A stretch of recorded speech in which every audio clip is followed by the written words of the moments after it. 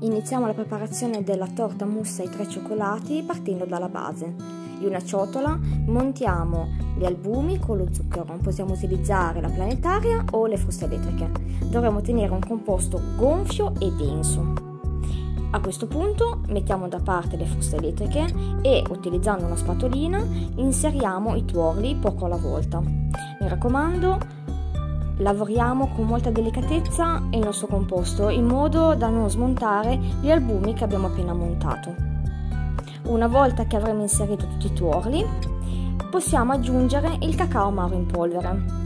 Mi raccomando, ricordatevi di setacciarlo perché eviterà la formazione di quei fastidiosi grumi che poi è difficile togliere, anche perché dobbiamo sempre lavorare l'imposto con molta delicatezza per non smontarlo, se no tutta l'aria che avremo incorporato andrà via e quindi non avremo più quella morbidezza che è, è caratterizzata proprio questo tipo di base.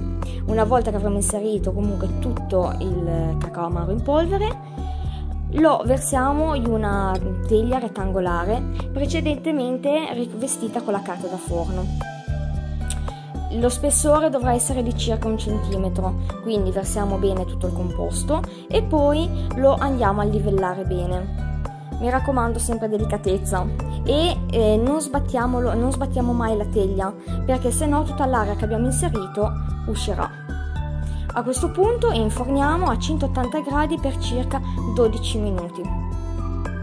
Per sapere se è pronto basterà appoggiare il dito sulla superficie, premere leggermente e se appena lo togliamo l'impasto tornerà ad alzarsi e diciamo, l'impronta del nostro dito sparirà, vuol dire che è pronto. Questo vale non solo per questa base ma anche per pasta biscotto.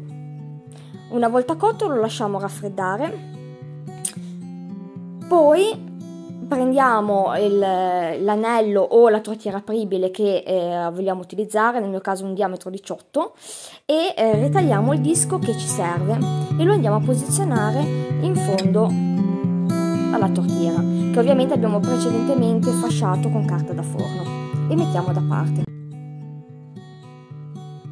Ora prendiamo la gelatina e la mettiamo in una ciotola con abbondante acqua fredda a reidratare. Questo servirà per tutte e tre le mousse che andremo a preparare. Ci vorranno all'incirca 10 minuti prima che la gelatina abbia raggiunto la, la giusta consistenza. Nel frattempo prendiamo il latte, lo mettiamo su un pentolino e lo portiamo a sfiorare il bollore. Poi aggiungiamo la gelatina strizzata e mescoliamo bene fino a che non si sarà completamente sciolta. Versiamo il latte bollente a filo sul cioccolato fondente che abbiamo sminuzzato e mescoliamo accuratamente con un cucchiaio o con una spatolina fino a che non si sarà sciolto del tutto. Una volta che la crema al cioccolato fondente sarà pronta, la mettiamo a riposare in modo che raggiunga una temperatura di circa 35 gradi. Nel frattempo ci dedichiamo a montare la panna. Mi raccomando ricordatevi sempre di mettere la ciotola e le fruste 10 minuti in freezer a raffreddare.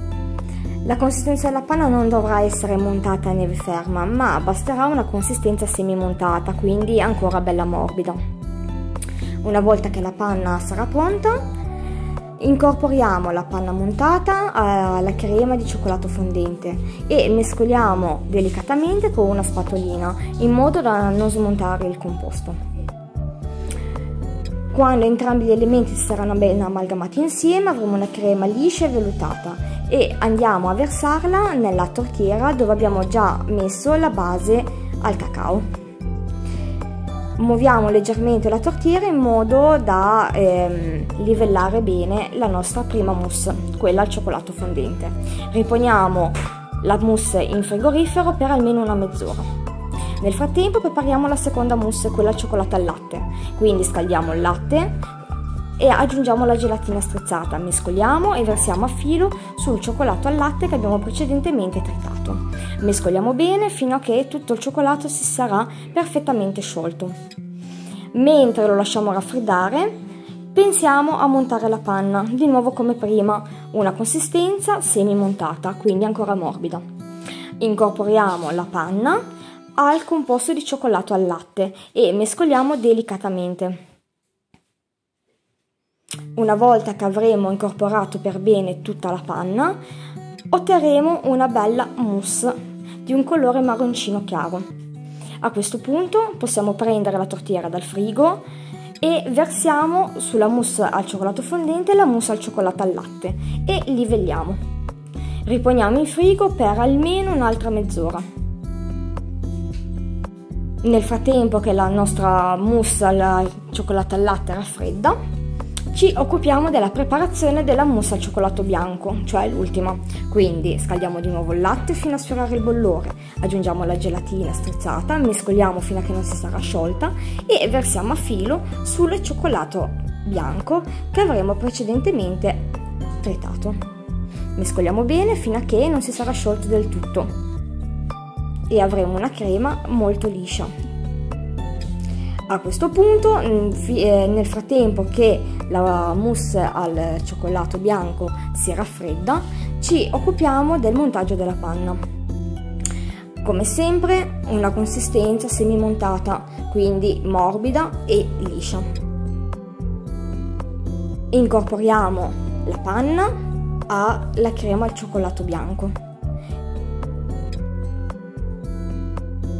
E mescoliamo delicatamente sempre con una spatolina in modo da non ammosciare il composto. Versiamo l'ultima mousse sulla torta e riponiamo in frigo per almeno 5-6 ore. Prima di servirla sformiamo e decoriamo con scaglie di cioccolato fondente.